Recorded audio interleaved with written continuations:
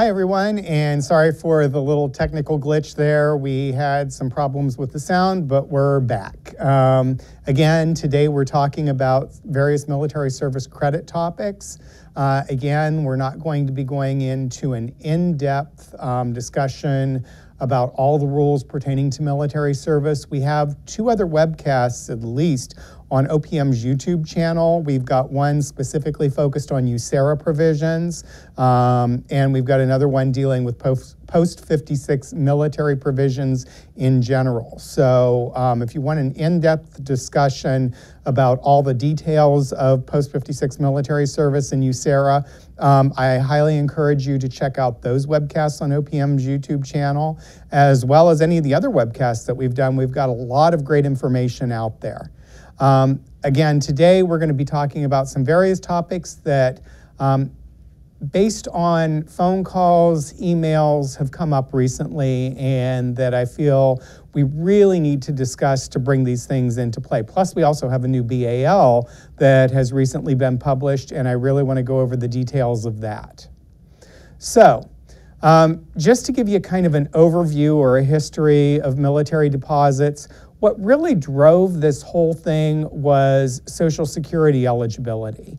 Now, for those of you who have been through any of our other classes, particularly the FERCCA classes or the coverage classes, you know that in general, federal employees um, became eligible for Social Security with the Social Security Amendments of 1983 that went into effect on January 1st, 1984, which changed how our our civilian retirement systems worked, right? We went from CSRS to CSRS interim and then to FERS and CSRS offset.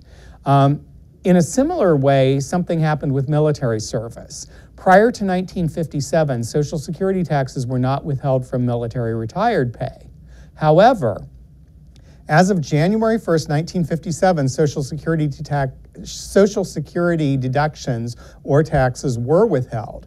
So, as a result of that, Social Security got the first opportunity to credit that military service in the computation of their retirement benefit. So, again, to credit it in a civilian federal retirement, employees who were going to be eligible for Social Security um, would need to pay a military deposit. Um, so again, as I said, Social Security had the first opportunity to, to use that service. And in general, you can't get credit for service in two different benefits and only pay for it once. So that's what precipitated this whole um, post 56 military deposit. Okay, um, and CSRS um, versus FERS, as far as the presumption of Social Security eligibility, is pretty straightforward. Again, if you've been through one of our other classes and you understand coverage, because CSRS people are, straight CSRS people are excluded from Social Security. So, for example, if you had some military service, you had no private sector work, and came on board and were covered under CSRS, worked under CSRS, you were not paying into Social Security. Mm-hmm. The only Social Security credits you would have would have been for the period of military service if that occurred on or after 1957. And so you probably wouldn't be eligible for a Social Security benefit depending on the amount of military time that you had. For FERS, because FERS is a three tiered retirement system, we have the FERS basic benefit that OPM administers. We also have the TSP program, which is another component of that three tiered retirement system and we have Social Security. FERS was specifically designed to accommodate federal employees paying into the Social Security system. So, therefore, the presumption is that FERS people will be eligible for Social Security, which is why military deposits statutorily are required for FERS people who have military service. So, hopefully, that actually clarifies the the difference in these rules. And again, if you want more details about basic military service, um, I suggest you check out the, um, one of the webcasts that we have on OPM's YouTube channel. Now, as far as what we consider creditable military service, um, the service has to be honorable, active service in the uniformed services. And the discharges have to be under honorable conditions. And the types of discharges that are under honorable conditions are clearly honorable discharges, separation because of hardship, transfer to the retired list because of age or disability, um, and transfer to fleet reserve is another one. Uh, also, furlough to re reserve forces, a general discharge under honorable conditions. Now, here's where things get a little dicey. Um, a lot of times you will see just a general discharge with no character assigned to it. Please be aware that if you see a general discharge with no character assigned to it, that we cannot use that service. Um, the person who has that general discharge will need to go back to that branch of service and petition to have a character of service assigned to it. So it has to be a general discharge under honorable conditions, okay? Um, just a general discharge by itself is not enough. Also, death in action. So again, we do get these questions from time to time and people provide the documentation. All this information is located in the CSRS and FERS handbook. I know um, that specific chapter has not been updated in a while, but nothing as far as these discharges has actually changed. So be aware that that is still valid information. Now, another question that we get very frequently is the type of documentation that is necessary to prove that a period of military service is creditable or potentially creditable eh, on the civilian side. The gold standard for this, of course, is a DD 214. If you can provide a DD 214 for each period of service, that is fantastic. Okay, um, discrete periods of service should have DD214 so that we can, so that in a case like that, a person, if they choose to, they can make deposits for discrete periods of service. Um, but a DD214 is the gold standard as far as documentation goes, or the equivalent of a DD214 if you don't have DD214s. Um, we do not accept point summaries. Uh, we get this question quite often. Again, we do not accept point summaries. They are not a valid form of documentation. They are great secondary evidence, but it's nothing that we can use by itself. If you have a point summary, that person, that former military member, needs to go back to that branch of service and get a transcript of service. Um, so basically translate that point, those points into any potentially creditable service, okay? Um, orders, are fine, but they must be accompanied by leave and earning statements for the period or documented on the certified copy of the orders. They'll put a stamp, they'll have it signed, they'll have the leave and earnings for that period. Um, so again, orders by themselves are not appropriate documentation because you can have orders issued, but a person may not show up. So, I mean, there are potential um, pitfalls with that. So that's why we always ask for leave and earning statements to accompany those orders. Now, I really want to touch on this form because we've got some new information on this. Okay, the Air Force IMT 1613.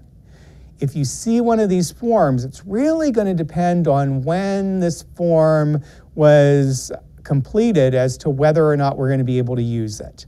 Um, so I want to talk about what you actually need to look for and why there was a problem with this form. Now, the problem with this form initially was that this Air Force IMT 1613 um, would have both Title 32 time and Title 10 time. Okay, it would have all different kinds of service on it.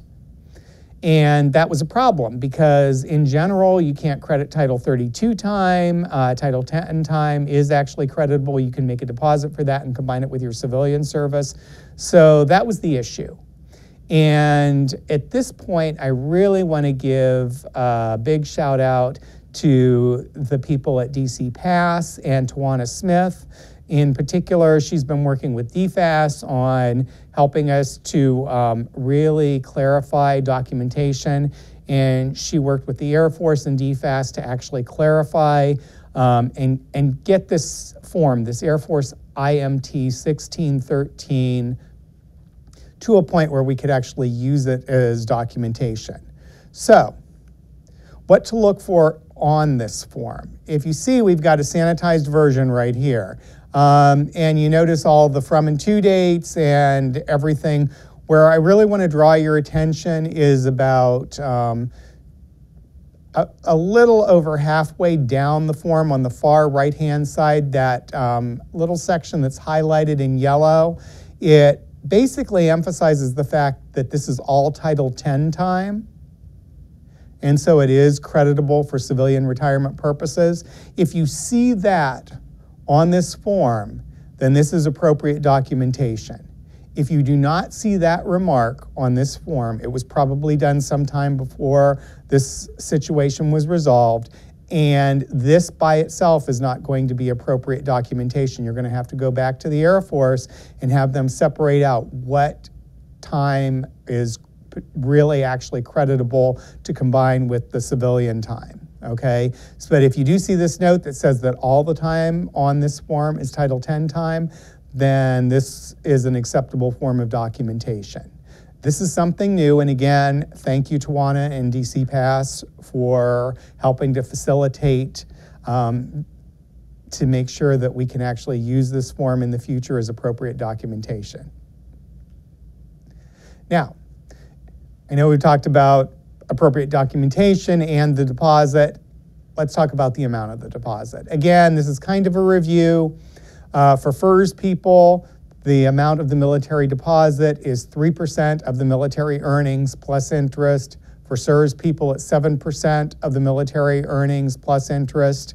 Um, now, some additional counseling points. Our counseling is actually going to be even more important now, um, particularly for USERRA people, where you have the alternative calculation, where, for example, the military deposit cannot exceed the amount of the deductions that would have been withheld if the person was in a civilian appointment um, at the time if they were in leave without pay US. So, in a case like this, when we've got somebody who's in FERS RAE and FERS FRAE, just be aware that those deductions under FERS RAE and FERS FRAE are actually higher. And the military deposit under FERS is still 3%. Now, when FERS deductions were 0.8%, almost always the civilian time, if the person had civilian, t- the, the civilian deposit would be actually um, more to the employee's advantage. They would have to pay less. However, when we've upped the retirement contributions, particularly under FERS FRAE, um, in those cases, the military deposit a lot of times is going to be um, more advantageous to the person. That's going to be the lower amount. So just be aware that whenever you're doing these, that um, particularly if you're dealing with FERS FRAE and FERS RAE people, the difference in the alternative computations is going to be a lot closer, and in some cases, the, mili- the actual military deposit, the traditional military deposit computation, may be the more advantageous one, where that was just the, uh, particularly under FERS FRAE, where it was just the opposite under straight FERS. Now, another issue that comes up quite frequently are interest accrual dates, or IADs, as we call them. Now, under both CSRS and FERS, um, there's a two-year grace period on military deposits on the interest. After the two-year period, interest is accrued and compounded annually at a variable interest rate. So just be aware of that. Now, this creates some situations. For CSRS people, um, for employees who were first hired under CSRS before 10183, interest begins to accrue on 10185. For employees hired under CSRS on or after 10183, interest begins to accrue two years from the date the employee was first employed under CSRS. Okay, so their first appointment when they're covered under CSRS, if they're employed on or after 10183, interest begins to accrue two years from that date. If the military service was performed after the date of first employment and after 10183, then interest for that period of military service begins two years from the date that the employee returns to a position that's subject to CSRS or CSRS offset.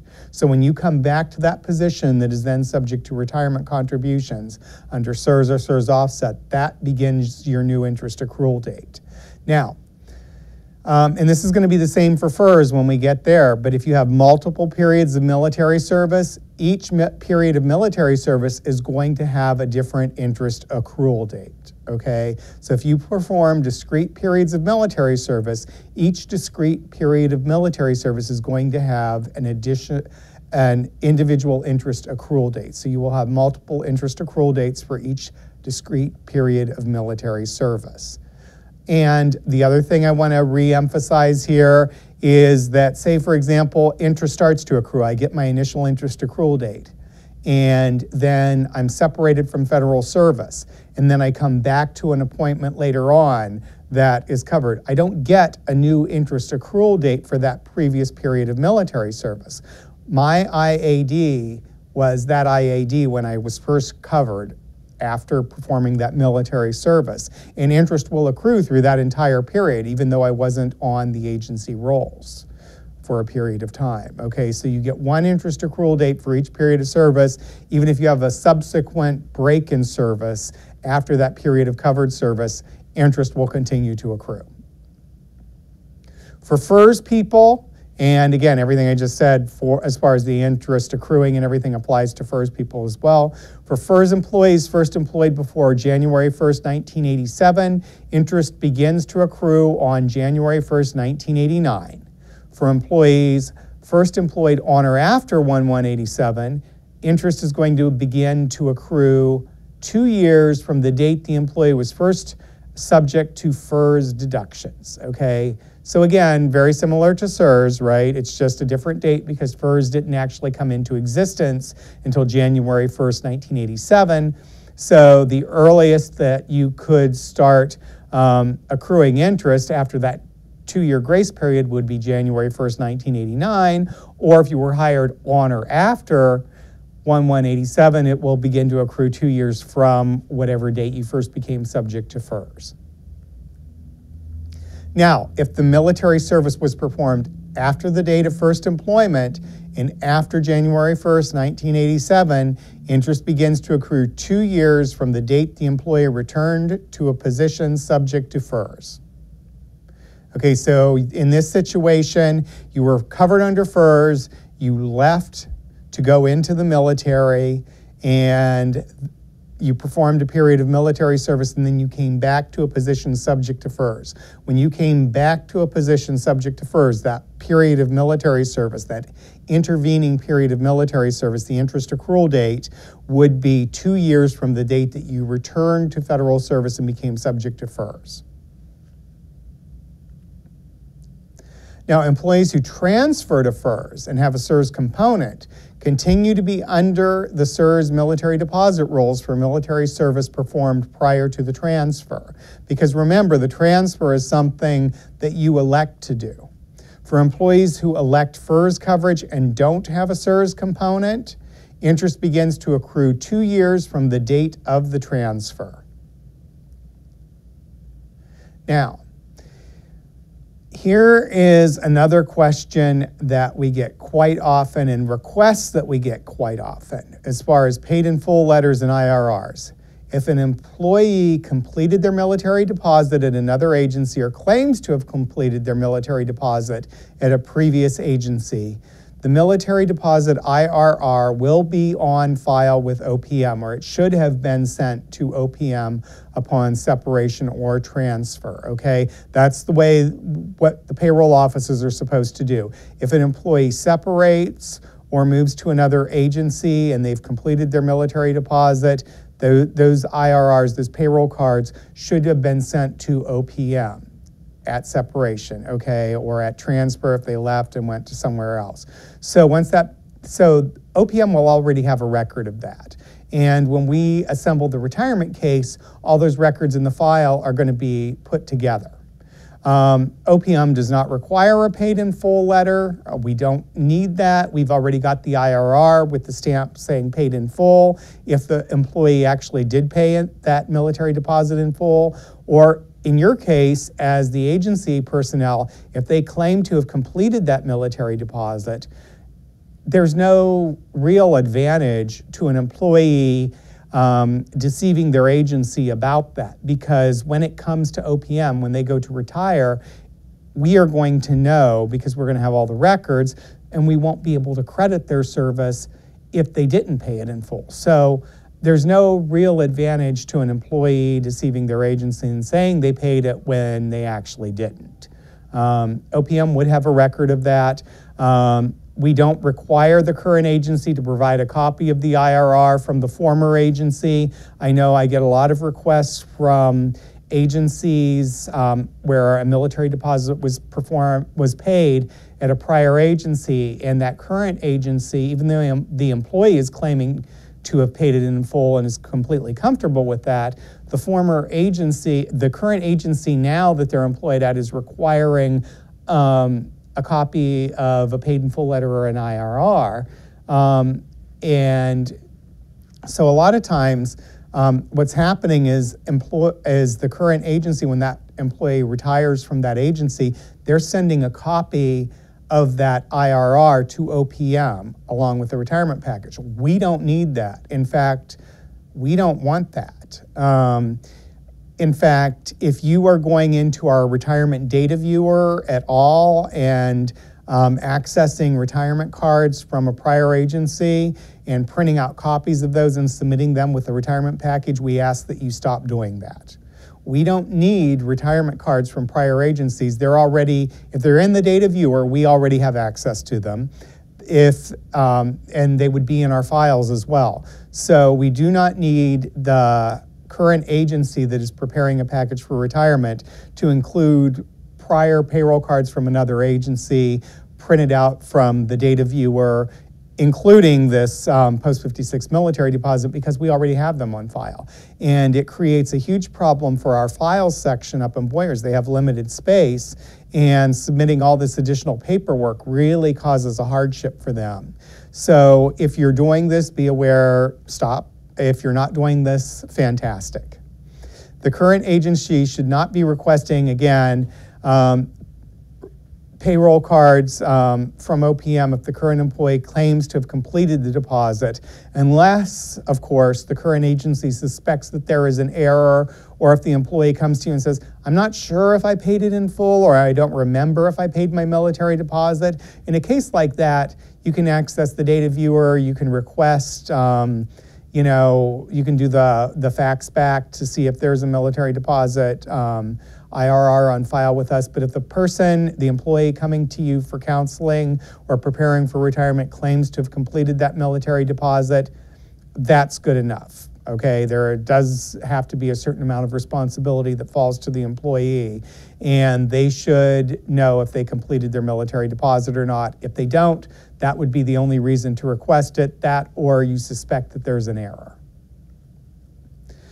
Now, speaking of errors, uh, generally, once a military deposit is completed, agencies cannot refund the military deposit. That means even if somebody was receiving military retired pay, they completed their military deposit, and then they come to you, to you, the agency, and say, you know, I made that military deposit with you, and I am receiving military retired pay, but I've decided I don't want to waive the military retired pay, so I want my military deposit back.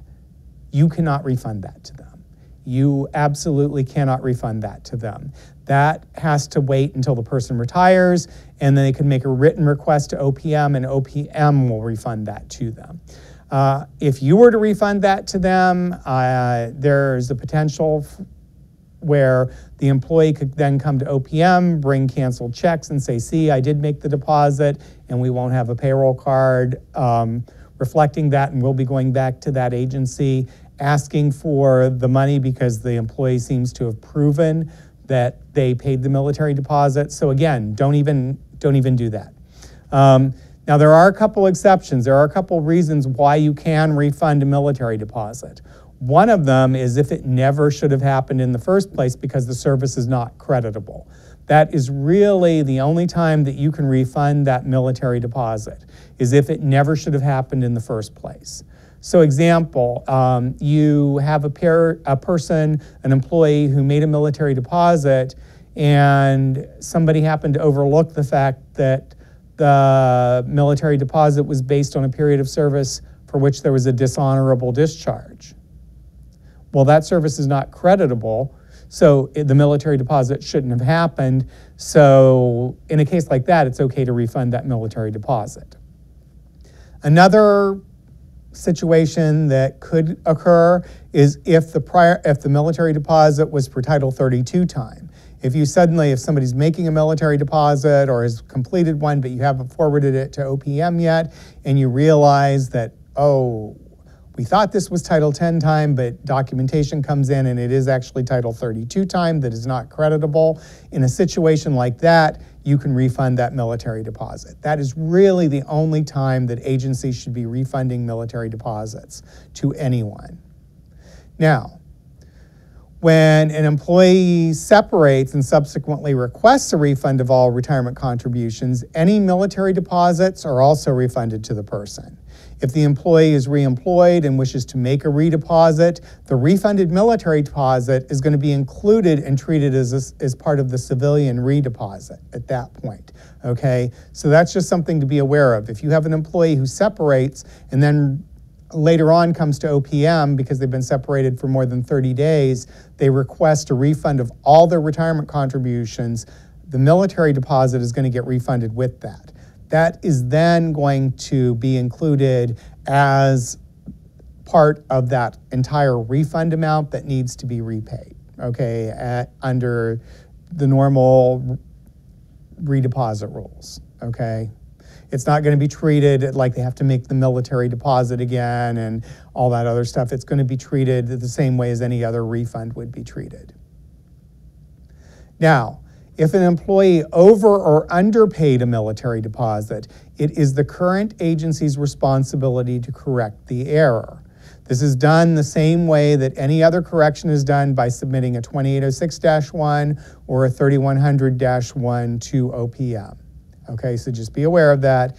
And so let's say you have somebody who um, should have paid $10,000 in a military deposit and they paid, you erroneously calculated it, or even a former agency erroneously calculated it and it's $15,000. Um, you can submit a corrected IRR for that, okay? Um, a 2806-1 or a 3100-1, you can correct those payroll cards, okay? You can correct that information and fix that um, and refund that extra $5,000 to the employee. This is not the same as a refund as far as refunding a military deposit. This is actually correcting the error, correcting the military deposit amount to the correct amount, which is different than refunding a military deposit for someone. I get that question quite a bit. Our whole office gets that question quite a bit um, as far as corrections go. So just be aware of that. If there's an erroneous amount, you're fixing it just like you would fix any other retirement contributions. You do that on the 2806-1 or the 3100-1. Actually, the payroll office is going to be doing this and fixing that military deposit to the correct amount. Now, Moving on, we have created um, a new BAL. It's BAL 17101. Uh, this should sound familiar to you because I discussed it um, last year, I think, um, in one of our benefits officers network meetings that this was going to be published.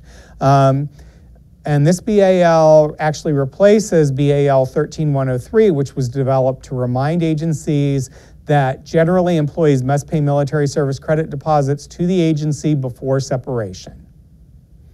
Okay, this goes into a lot more detail. Now, 5 CFR 831 2104A and 842 307 have a provision that states that in the event of an administrative error related to the military service credit deposit, a former employee has the opportunity to make or complete the military deposit after separation. This is really the only time we're allowing military deposits after separation is in the case of administrative error. Now, what this BAL does, it discusses this. It provides a general discussion of what constitutes an administrative error related to a military service credit deposit. It reminds HR specialists of the necessity of counseling employees about paying those deposits when they have or return from active duty. Um, notifies HR specialists of the procedures that have to be followed by a former employee if the former employee believes that administrative error occurred and that that administrative error actually prevented them from being able to make or complete the military deposit before separation from federal civilian employment. Okay? It provides links to and an analysis of several decisions that have impacted the treatment of military deposits. So, for those of you in the policy and legal areas, if you want to read some of the court cases and some of the decisions, the MSPB decisions, et cetera, that have actually um, created this whole situation, then definitely check out this BAL because there are citations about the court cases and discussions about that as well. Now, what this BAL does not do, it does not change any existing law or regulation. It doesn't change any of the documentation necessary, necessary to determine the creditability of military service. So again, just with the issuance of this BAL, it doesn't mean that we are going to accept points. We do not accept points at all. Uh, point summaries by themselves are not acceptable. I'm just saying this because we get this question a lot. Um, it does not delegate to any agency the authority to allow an individual to complete a belated military service credit deposit due to administrative error. So this is important because agencies are not the ones determining that um, an administrative error occurred. It is OPM who is going to determine if an administrative error occurred and determine whether or not we will allow a belated military deposit. The agency will not be making that determination. OPM will be making that determination. Now, let's talk about what an administrative error is. If um, an employee um, makes an inquiry with the agency HR, the employing agency provides material misinformation concerning the deposit and the consequences of not making a military deposit prior to separation. That would constitute an administrative error. So basically, if an employee comes to you and you provide erroneous information or a miscalculation or something that concerned the deposit, and the consequence of that was the resulted in the employee not being able to make a deposit prior to separation or complete the deposit prior to separation, that's what we consider an administrative error. Now, deemed administrative errors are, um, are those errors where we just, uh, we, we, they're pretty straightforward. There are limited circumstances. Um, it would, it would automatically enable an individual to belatedly complete the military deposit of their military de deposit to their prior employing agency after separation from employment. So again, remember, if we find administrative error, the employee is going to have to come back to the agency and make that military deposit with the agency, even though they've already separated. They're not going to be making the military deposit directly to OPM they're going to have to go back and make the deposit through the agency, and the agency, through their payroll office, is going to have to submit that to OPM, even though the person is already separated. Now, the Federal Erroneous Retirement Coverage Corrections Act, or as everybody knows it, FERCCA, uh, the, uh, in a situation like that, this is one deemed administrative error. The deposit was not paid in full because the agency enrolled the employee in the wrong retirement plan or the amount of the deposit was misstated. Now, if deposit calculation errors are discovered after separation, a FERS deposit was computed instead of a CSRS deposit uh, failure to account for higher deductions in the years 1999 and 2000 because as you know retirement contributions went up and therefore the military deposits went up as well um, also if the employing agency um, commenced interest as of the wrong interest accrual date. That could constitute an administrative error. Um, military deposit payments have to be completed at the employing agency or payroll provider before final separation from employment. Completed means that the final payment has already been processed or will be processed in the final payroll closeout if done by payroll deductions. Now, if the employee alleges to OPM after retirement that the employing agency took or neglected to take an action involving the military deposit, which actually influenced or caused the individual not to initiate or complete the deposit, OPM is going to determine if the circumstances constitute an administrative error. OPM will decide if the circumstances warrant uh, allowing the individual to make a belated military deposit to his or her um, former employing agency. And if an employee who did not complete payment of the military deposit believes that the failure to pay was caused by an employer's administrative error and wants to complete payment after retirement, the employee or the retiree has to come to OPM and request a finding of administrative error. Okay?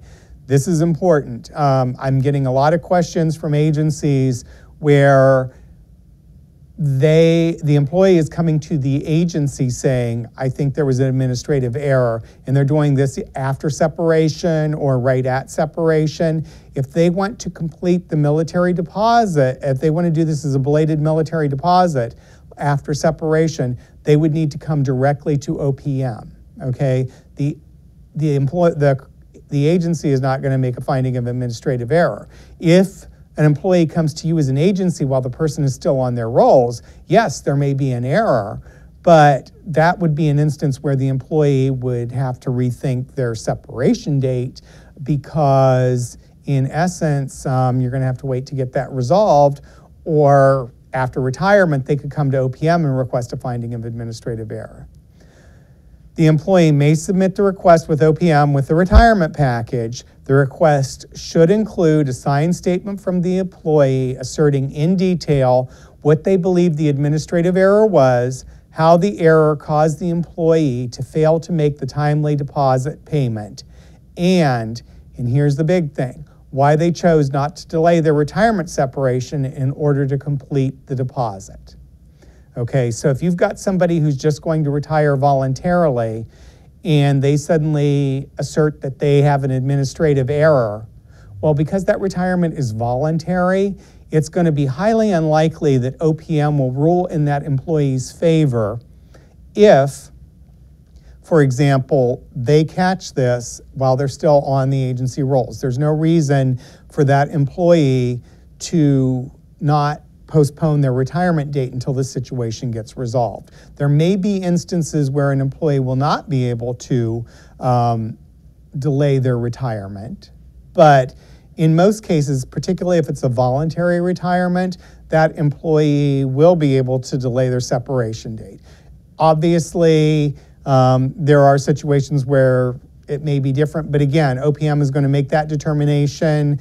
Um, so but the employee is going to actually have to um, document why they chose not to postpone their separation, and it is going to have to be a valid reason, not just well, I wanted to retire on my birthday. Input from the agency that may support or dispute the allegations of the employee administrative error by the agency can also be included. However, remember that agency input pertaining to administrative error is not required unless the agency issued a written decision to the employee denying the eligibility to make deposit for one or more periods of military service.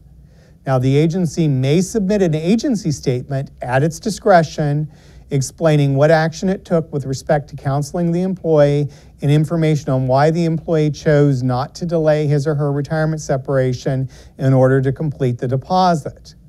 But be aware any statement forwarded by the agency in this context becomes part of the retirement record and is reviewable in any subsequent litigation that should happen. So let's say OPM denies uh, finding, de- denies that an administrative error occurred and that um, employee then decides to appeal that. um, to the Merit Systems Protection Board. Um, any statement forwarded by the agency would be part of that evidence. So again, agencies should just be aware of this, that this becomes part of the retirement record, and it does, should there, should anything end up in the court system or under legal appeal, that this is what's going to happen. Now, as far as submitting a request after retirement, a separated employee can also submit the request to OPM alleging administrative error directly to OPM if they choose. The retirement application should wait until the until uh, the, the applicant should actually wait until um, the case is assigned to an OPM claim number so that the request can be associated correctly. So they should wait until they get a notification from OPM giving them the retirement claim number. Um, because uh, what's going to end up happening is a lot of times those papers are coming in. If the employee submits this request alleging administrative error and they haven't put enough identifying information on for us to make an association with the retirement case, that could conceivably get lost. Um, so again, it's best for the employee um, or the former employee, retiree, to wait until they get a CSA number from OPM if they're going to file directly with OPM so that they can include their CSA number so we can associate it with that retirement case much more easily. Now, the request should be sent to our main address here, which is OPM Retirement Operations Center, P.O. Box 45, Boyers, Pennsylvania, 16017 0045. Now, what's going to happen once OPM gets this? Well, um, if it's a, we could say, okay, it's approved. We will allow you, we will make a finding of administrative error and we will allow you to make this belated military deposit. We could say, yeah, we looked at all the evidence and we are denying you the ability to make a belated military deposit. Because, for example, some person could have made their military deposit. It could have been caught before separation, but the employee was had chose to separate on a had chosen to separate on a voluntary retirement for no other reason than that's just the date that they wanted to go out. Um, and they could have postponed it, but they chose not to. Um, in a case like that, more than likely that would be denied. Um, we could say that a belated deposit, a belated military deposit is referred for a clearinghouse review because we need to investigate this more. Um, there could be extenuating circumstances. We actually need to do a little bit of research, or this could be a finding where um, there's a lot, there are a lot more extenuating circumstances. Now, what's going to happen with the retirement case? Well, OPM is not going to delay processing of the retirement packages due to an applicant's allegation of administrative error with respect to a military deposit unless it is determined that the administrative error exists, okay?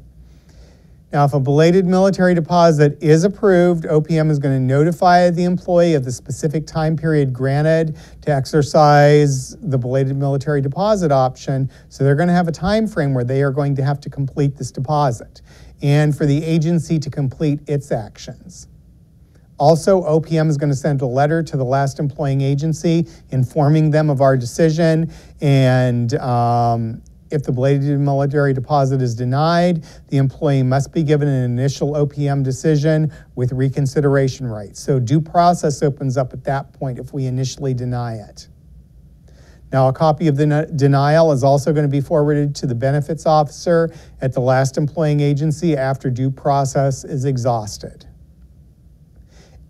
Any deposit has to be administered by, should we choose to approve a belated military deposit, any deposit must be administered by that agency's payroll provider. And if it's completed, the military deposit must be received by OPM no later than the expiration date of the belated military deposit election time frame that's going to be specified by OPM whenever we send that notification to that uh, former agency. And at this point, that is really it. Um, I'm going to open things up for questions now. So, and I think we have a question.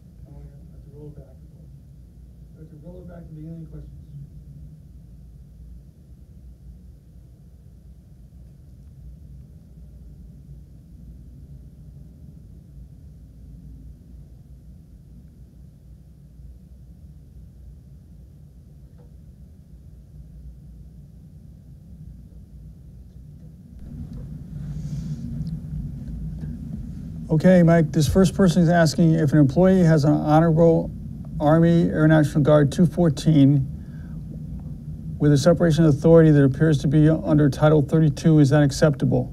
Can they buy this service? Generally, Title 32 time is not is not creditable military service. Again, um, I would suggest that um, you refer to one of our prior military um, uh, webcasts that we did. They're both on OPM's YouTube channel. We have one specifically that deals with USERRA provisions, um, and we have one that's the general military service. We go into detail about Title 10 and Title 32 time, but generally speaking, I mean, not always, but generally speaking, Title 32 time is not creditable, generally. But as you know, there are always exceptions, so I just want to make sure that we're aware of that. Again, review one of the um, prior webcasts we did, because that's a whole other webcast, actually. This next person is asking, I was hoping to find out during the webcast how OPM plans to treat retirees with military deposits based upon point statements, and more importantly, current employees with deposits that have paid in full with point statements as documentation. Point statements by themselves are not creditable or are not um, not acceptable by documentation. There would have to again, um, in a case like that, that you will probably, if the if they're still an employee with you, um, you are going to need to get. Uh, those things never should have been accepted. We've never taken point summaries. Um, now, let's be clear here. Um, there were, and I think this will help resolve this. I know I've gotten this question a lot, and I've gotten this question from a lot of different agencies that OPM used to take point summaries and now they don't. What changed? OPM never accepted point summaries, okay? Again, as you know, the military deposit is paid to the agency before separation, and OPM never sees the documentation for the military depositor never really evaluates it and looks at it until after this person applies for retirement and we're actually processing the retirement case.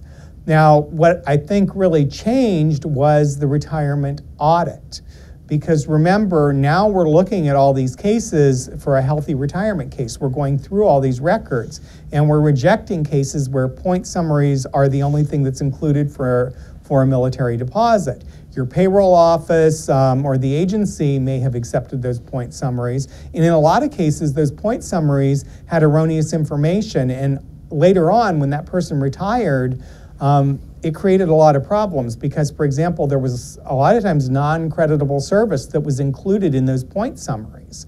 And so, if the person needed that military service for eligibility to retire, those people were then bounced back to the agency as an erroneous, as a potential erroneous separation. So, I mean, this is in the agency's best interest not to not to accept these point summaries at all by themselves as well. So it's really important that you you're aware of this appropriate documentation. Now, the reason it it seems to have changed again is because the retirement audit is catching these because we're reviewing all these cases and then um, alerting the agency if it's not a healthy retirement case. Prior to the retirement audit, what used to happen is again this this um, incomplete documentation would be sent to OPM, and OPM would have to develop for the additional documentation, but they were already off the agency's rolls and the agency never saw this. So this created a huge workload for OPM for the, for the um, legal administrative specialist who was actually processing the retirement case. And this would actually also hold up the retiree's annuity because we would have to go back and try and get all this additional documentation. So again, we've never accepted point summaries.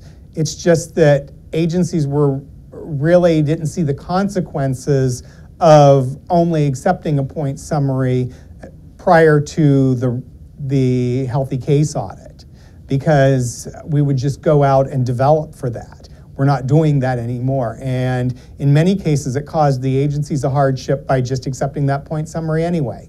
So again, um, if you have somebody who only has a point summary, you need to tell them, and this information is in the CSRS and FERS handbook, and that chapter, again, hasn't been updated since the 90s, so clearly this has been out there for a while, that they need to go back to that component or that branch of service and get a transcript of service detailing what service is actually creditable for retirement purposes, because I guarantee you, with those point summaries, not all of that service is always creditable.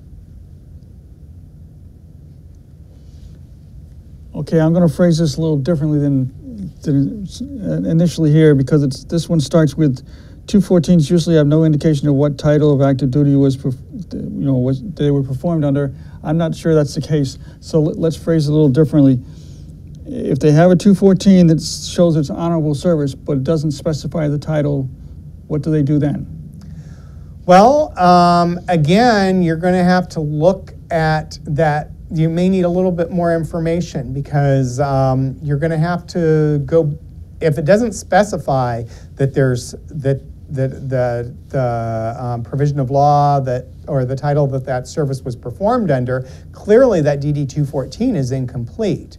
So you're going to need to go back and um, uh, get more information. I mean, that's something that the agency is going to need They to. do ask whether the 214 should be amended, Yes. or, or they could also get a letter from the, from the branch. Yes, you can get, a- you- you're going to have to go back to the branch of service and find out exactly what was going on. I mean, there's going to be additional information needed in a case like that. Um, It's just like anything else. Military service, I mean, that's something I want to clarify right up front here. Military service, in a lot of ways, is no different than any other service. If you had a question about civilian service that occurred, and you were unsure whether that service was creditable or not, if you didn't have appropriate documentation to determine whether that service was creditable or not, um, before you separated that person for retirement, what would you do? It's the same thing with military service. You need to go get more information to verify that that service is creditable for retirement purposes. Um, I'll give you another example that's actually a lot more common than that. Say somebody gives you the wrong copy of the DD 214. We see that quite a bit. They submit the wrong copy of the DD 214. I think they submit copy one instead of copy four.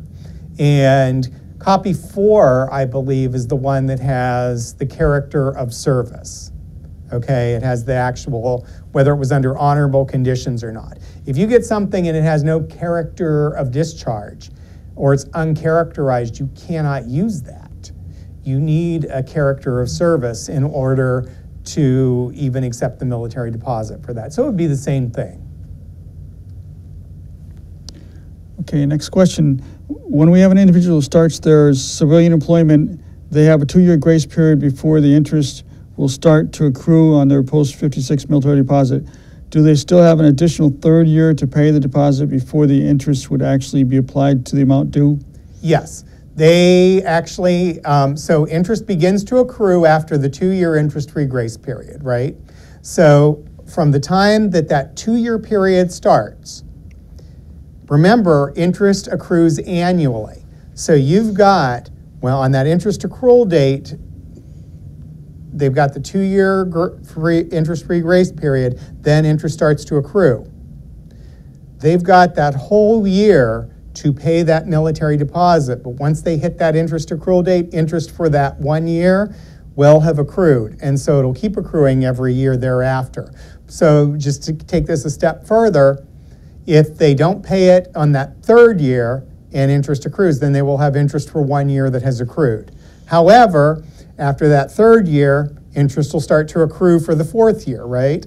Um, and if they pay that whole thing off before they hit that next interest accrual date, then the anniversary of that interest accrual date, then they won't have accrued interest for that next year. So it just continues on.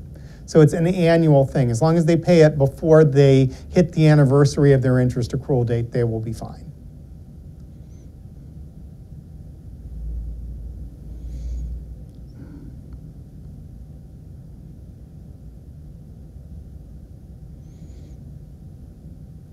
I'm skipping a few there. Some of these we're going to have to answer off offline because they. Yeah, yeah, They're and for specific questions, let me, let me kind of um, help you here. Um, If you're submitting questions about specific instances of a retirement case, uh, do not send them to this email. And, and in fact, if you've, um, do not send them to this email. Um, what I would suggest you do is you reach out to, if you are, if you're not the headquarters benefits officer, submit them to your headquarters benefits officer first. Um, if you don't know who your headquarters benefits officer is, we have a listing on OPM's website.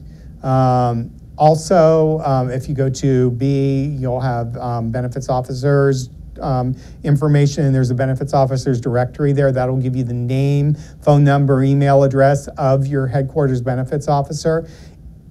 If you are a headquarters benefits officer and you have specific case related, individual case related inquiries, again, do not submit them to this box for this presentation.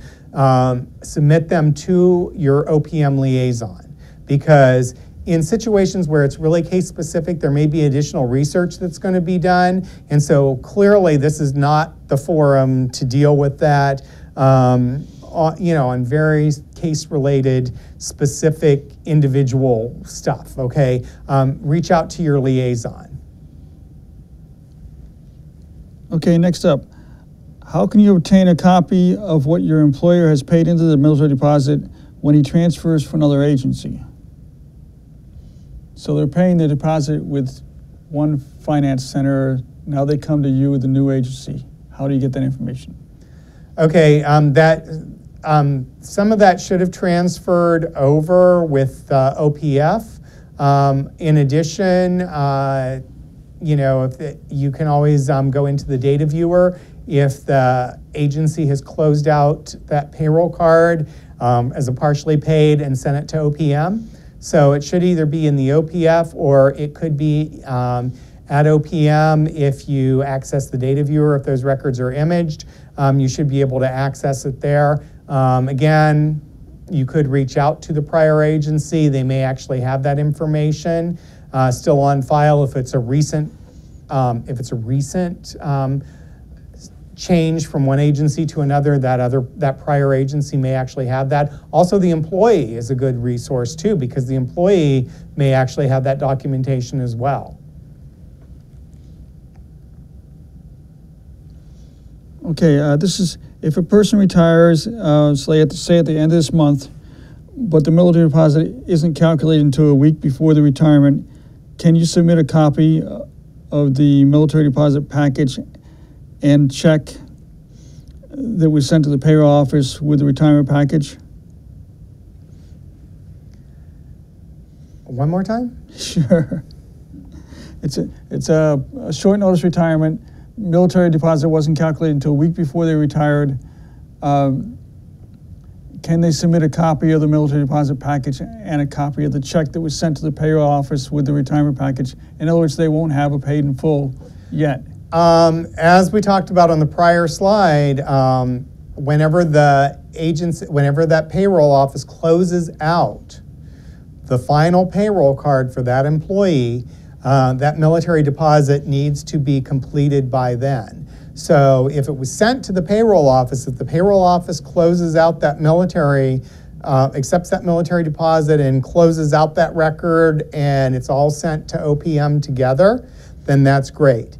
If for some reason um, the person gets separated from the agency roles and the payroll office closes out that military card and the payroll and the military deposit is not completed, then at the payroll office, then that's not good. Um, and there would and that would constitute a potential belated military deposit, in which case, um, you know, the, they would have to, the employee would have to justify why they're not waiting until that is actually approved. I mean, you know, if there's if there's any flexibility with regard to the employee, that they would have to. I would suggest that they consider changing their retirement date um, until that is all done. Because I mean, if you had, let me give you an example.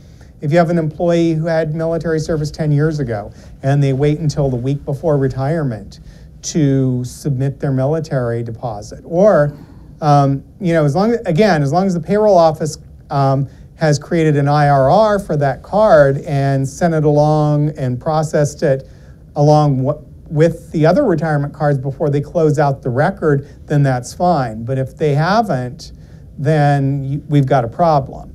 Um, So what we usually, what we usually see happen is something that doesn't fall that close.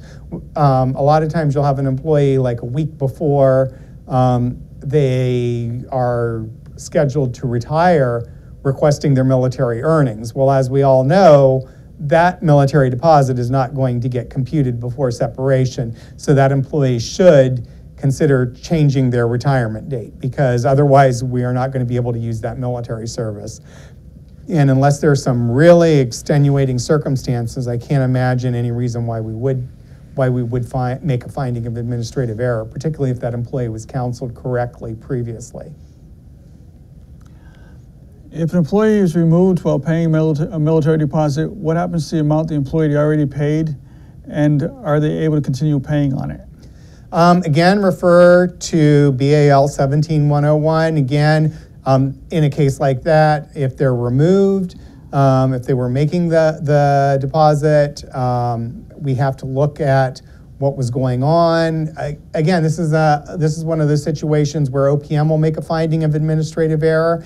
If we don't, if we find that administrative error didn't occur and it was and allow them to complete that belated military deposit, then um, we would treat it, if we find that um, there was no administrative error, then basically what's going to end up happening is that would be treated as a partially paid military deposit and it's going to get refunded to the person and they are not going to get credit for that military service. So again, it's pretty straightforward. Either the deposit is completed before separation or if it's not completed before separation, then the employee needs to come to OPM to request a belay, uh, the ability to, uh, on finding of administrative error in order to complete that belated military deposit. It's as simple as that. It has to be done before retirement, period. The only exception is administrative error. Okay, um, actually, actually, they were, they were talking about removed, not retired. Um, so, a- as a separatee, they can't pay into anything. Um, and the money stays with OPM, right, until, Correct. If they're removed and they're not eligible for retirement, um, in a case like that, that partially paid amount stays with OPM, but interest is going to continue to accrue on the remainder. Um, should they ever get another covered position, that intervening break, interest is still going to accrue during that. And when they're subsequently in another covered position, should they be reemployed in a federal agency, then at that point, they can resume payment of the military deposit. But keep in mind that the whole time they were off the rolls, interest is going to be accruing.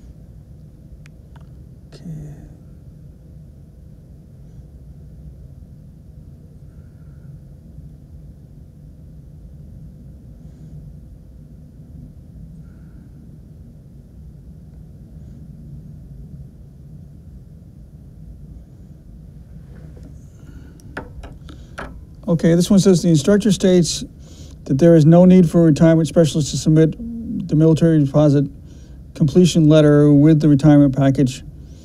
If OPM finds that the employee never made the deposit, but the retirement specialist annotated that on the MSD, when the MSD was completed, will the agency be charged for an error, error in the audit? Well, I mean, I, you know, as far as the audit goes, I can't really speak to that. I mean, um, if the employee on the application is stating that they completed the military deposit, I mean, that's really what you're going to have to, to go by. I mean, at some point, this comes down to personal responsibility on the part of the employee. And again, there's no reason for the employee to lie because what may end up happening, it would create the potential for, um, for damage to the employee of not being truthful in their answer as to whether or not they completed that military deposit is quite substantial and there's no advantage because OPM would have those records. Now, if there's a discrepancy, let's say, for example, the person did complete their military deposit, but for whatever reason, the payroll card was never forwarded to us.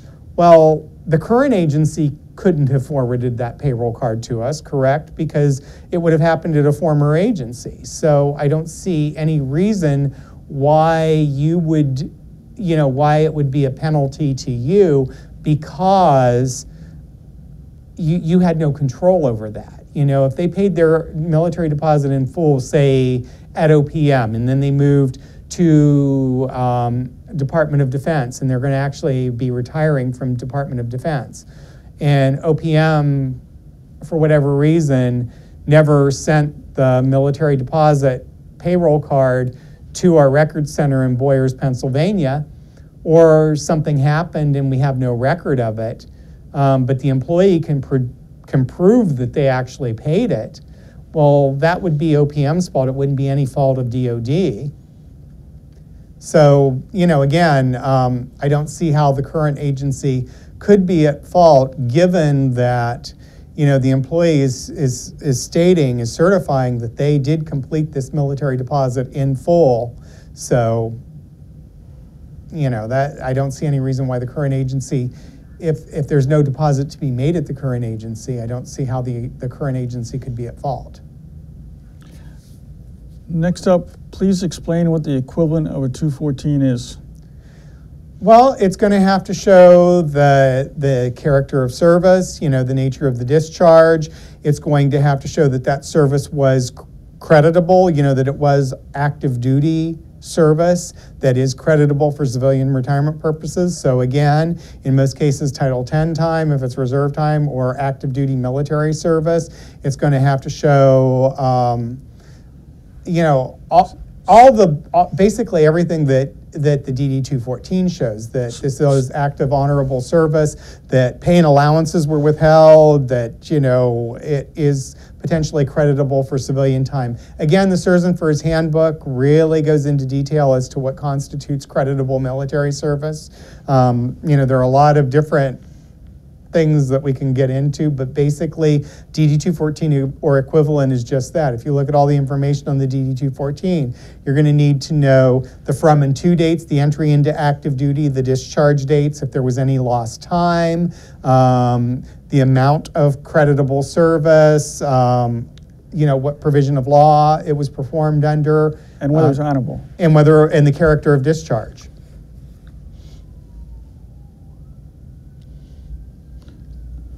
Okay, next up, would an employee be responsible to pay owed interest if the HR office did not make a timely action to process when they requested the military deposit? Uh, yeah, they, um, I mean, the interest accrual date is the interest accrual date. So, you know, they, the employee is actually responsible for, for that. There's no act, they're actually, and this goes not just for military deposits, but civilian deposits, redeposits, everything. There is no provision in law for OPM to waive interest of any kind. Okay, we do not have the ability, we do not have the legal authority to waive interest on any deposits. Not military deposits, not civilian deposits, not redeposits for prior refunded service. Interest accrues based on the law, and there is no provision to waive that. Now, let's say the agency makes a mistake and realizes, in, as in this situation, oh, you know, it was our fault. Well, if the agency chooses to pay the interest for that employee, if the agency chooses to foot the bill for that interest, that's between the employee and the agency. OPM has nothing to do with that. OPM is required to collect the interest that has accrued based on the law, and so therefore the interest is going to continue to accrue. Who actually pays that interest is irrelevant. Is uh, OPM doesn't care. We we just need the interest.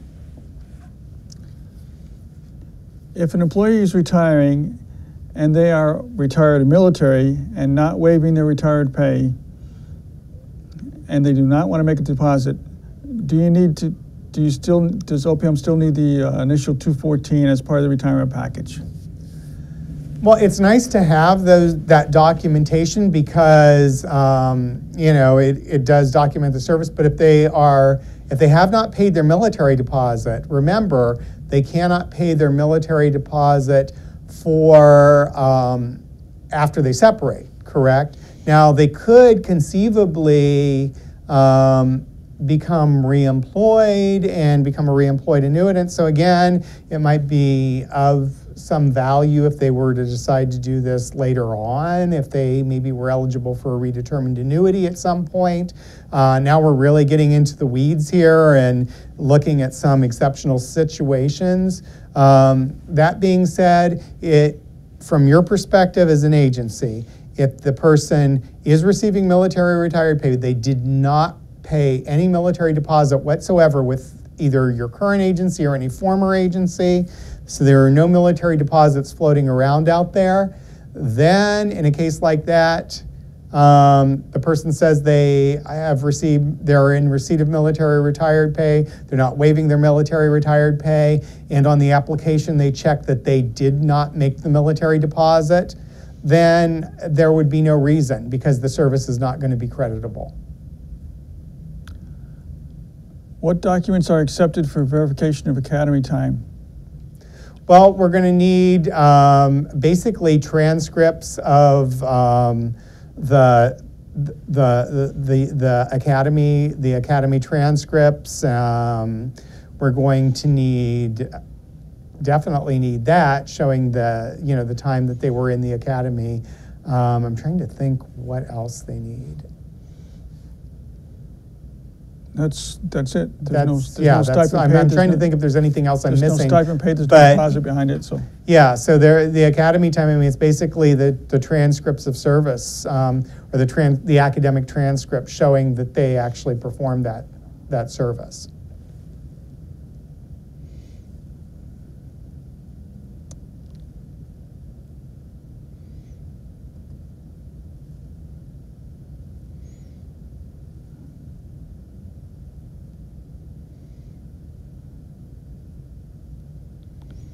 Uh,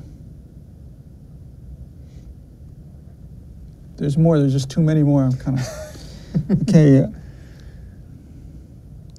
A person with two military, two military service periods, is it possible to pay deposit for only one period of service? Yes, it is, and they're actually going to have separate interest, excuse me, they're actually going to have separate interest accrual dates as well, because each discrete period of military service technically should have separate interest accrual dates. So it is conceivably possible that a person may choose to pay one period of military service and not pay another. I'll give you an example. I recently had um, this question come across my desk. Um, an agency had a person who had multiple periods of military service.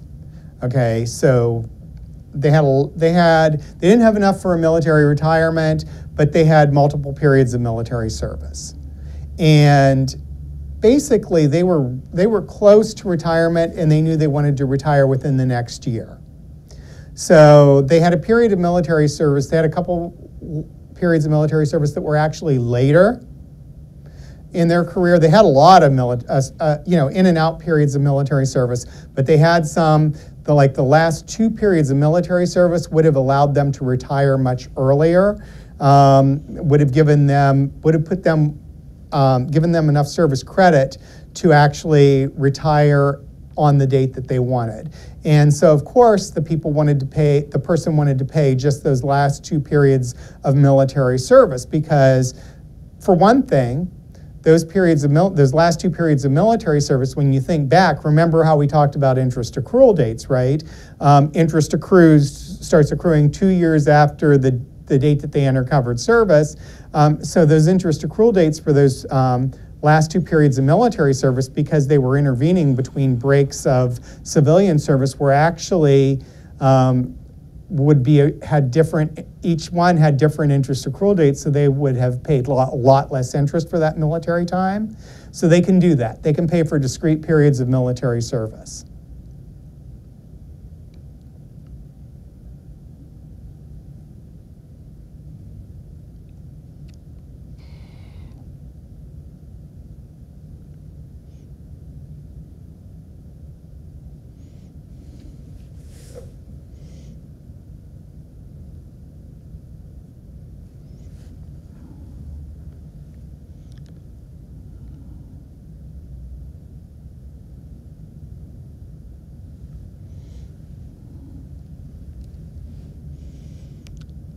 I'm not, not sure if we can tackle this one or not. Can you explain how new military, how the new military deposit process within Remedy, Remedy, that's, it seems that we can now upload three deposits, no, this is not, never mind, that's, that looks like, uh, A technical payroll question that, that looks like possibly even, uh, software specific. okay, yeah. Couldn't, couldn't quite answer that one. Yeah, we- Um, different agencies use different software, um, yeah.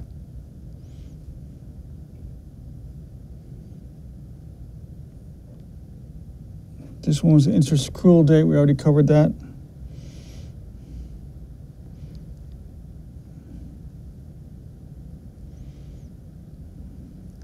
And again, remember, if you have specific questions about a specific retirement case, you should be contacting your headquarters benefits officer first. And if you are a headquarters benefits officer, definitely reach out to your OPM liaison specifically, because again, I don't want to end up uh, trying to answer a really detailed question here with general information. In some cases, we may actually need to examine the DD 214. We may have to tell you, well, you need to get a little bit more information here or there. So again, that's why you would want to involve your liaison so that you get the most, um, the, you get a correct answer the first time, right? So we're not going back and forth with this because as you know, um, trying to answer a very specific question generally will a lot of times not give you everything you need and it may actually lead you down the wrong path. So that's like the last thing that we want to do. Can an employee who resigns request a refund of their military service deposit only without, without getting the retirement contributions? No. When you request a refund, if you resign and apply for a refund, you get a refund of everything you paid into the system, not just the military. You have to get a refund of all your all your contributions.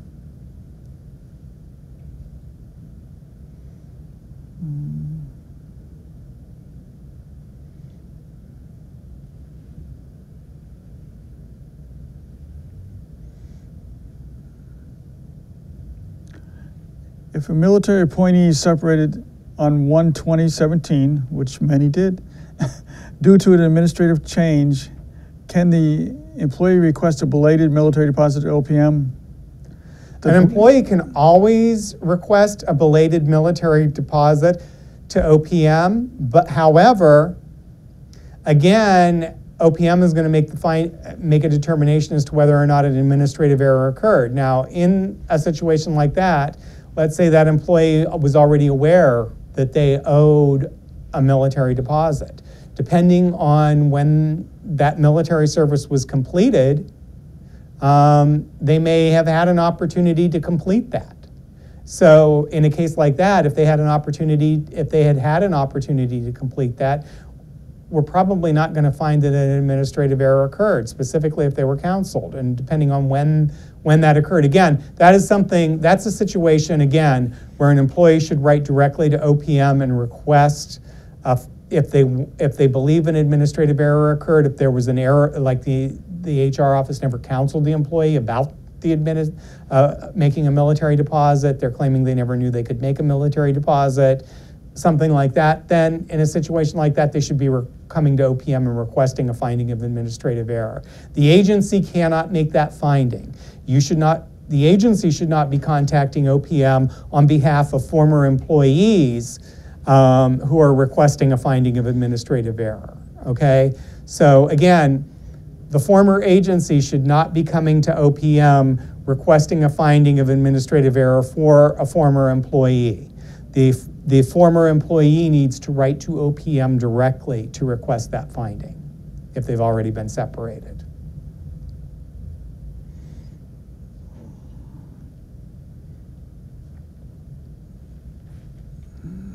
Okay, well, I guess that's about it. Uh, thank you guys so much. And again, don't forget to check out um, any of our other webcasts and um, informational videos that we've done on OPM's YouTube channel. We've got a lot of information out there. We've got information on non-appropriated funds. We've got information on USERRA. We've got information on post 56 military deposits. We've got a CSRS and FERS overview out there that is great to show to employees if you want to give them kind of a pre retirement seminar. Um, we've got information on civilian deposits and redeposits. There's a lot of good stuff out there. We've got stuff that that's just with retirement. We've got other information out there too with regard to staffing, pay and leave. Um, Phil Gardner has done a couple webcasts on healthy cases, which you can you can review. So again, uh, don't forget to check us out and look at any of the other information that we've provided already. And thank you for tuning in today.